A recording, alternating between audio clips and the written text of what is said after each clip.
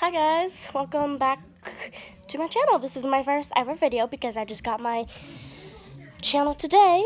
As you can tell, I'm in my house downstairs. My parents over there. So, yeah.